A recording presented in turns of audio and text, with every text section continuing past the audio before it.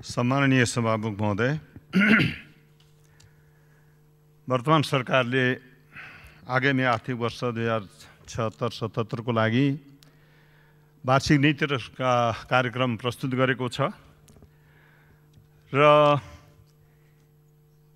यसमा मैले आफ्नो विचार राख्नुभन्दा पहिले हाम्रो पार्टीका तर्फबाट माननीय मिनेन रिजालजीले पनि प्रस्तुत गर्नुभएको छ प्रस्ताव। म त्यसको समर्थन गर्न चाहन्छु। र सबभन्दा पहिले धेरै लामो समयको सुविधा छैन। सबभन्दा पहिले त जसरी कि सम्बोधनको क्रममा जुन विवादको प्रश्न उठेको छ सरकार किन अचानक यसपटक यस वर्ष योभन्दा पहिले वर्षसम्म यो सम्बोधनको विवाद आएन तर किन यसरी आयो? यो आफैमा एउटा चिन्ताको विषय छ।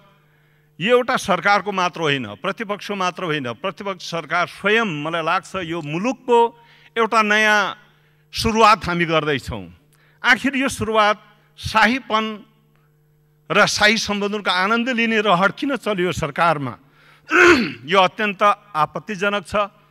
हामीले यसमा आपत्ति जनाएका छौँ। मलाई लाग्छ मभन्दा पहिले बोल्ने मान्य साथी अग्निजीको पनि धारणा हुँदा हाम्रो जनआन्दोलन र दसौँ दसौँ सैकडौँ र हजारौँ जुन शहादत दिए शहीदहरूले तिनको सपनालाई यसले सघाउँदैन। मलाई लाग्छ चोट पुर्याएको छ।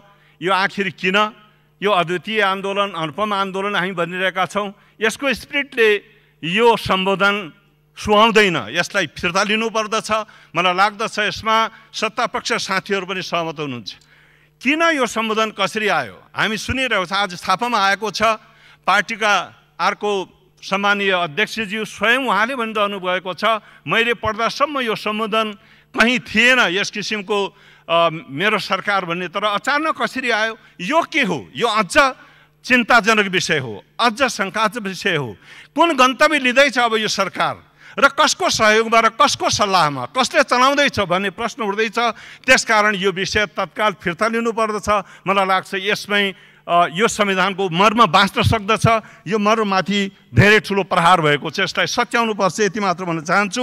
दोस्रो कुरा यो संविधानको प्रभावकारी कार्यान्वयनबाट यो संविधानको सफल कार्यान्वयनबाट सङ्घीयतालाई सुदृढ गर्ने विषय प्राथमिक विषय बन्नु पर्दथ्यो। यो विषय नीतिभित्र परेन। त्यस कारणले भएको के छ त भन्दा अहिले एकातिर हामी कानुनबाट पनि सङ्घीयतालाई म कमजोर गरिरहेका छौँ। संविधानको अनुसूची नौ साझा कार्यसूचीलाई समातेर अनुसूची आठ जसले एकल अधिकार स्थानीय तहलाई दिएको छ त्यसमाथि ठाडो हस्तक्षेप भइरहेको छ।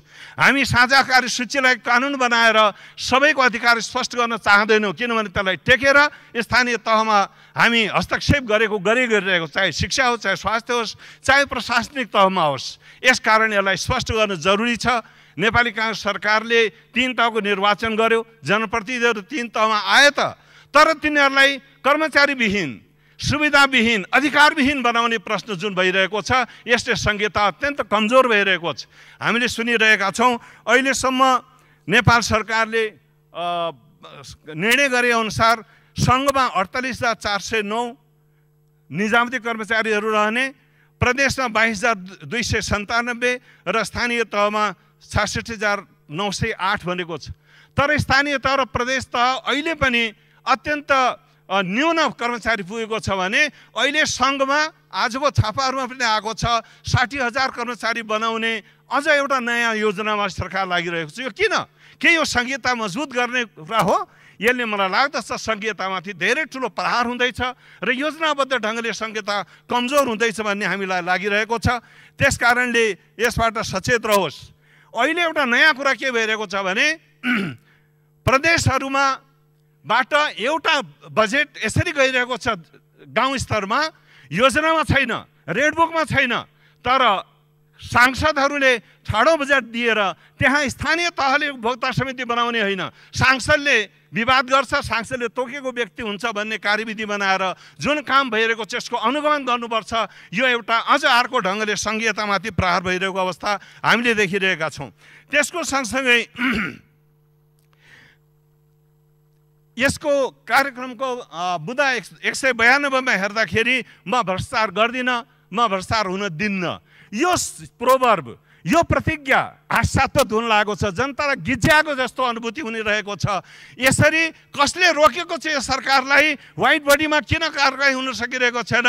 किन यसलाई स्विस ब्याङ्क बनाएको त्रिपन्न अरब रुपियाँ कसले ल्याउन रोकेको छ? किन एनसिएलको कर उठ्न सकिरहेको छैन? त्यस कारणले चाहे सुनकाण्डका अभियुक्तहरू कसले रोक्यो?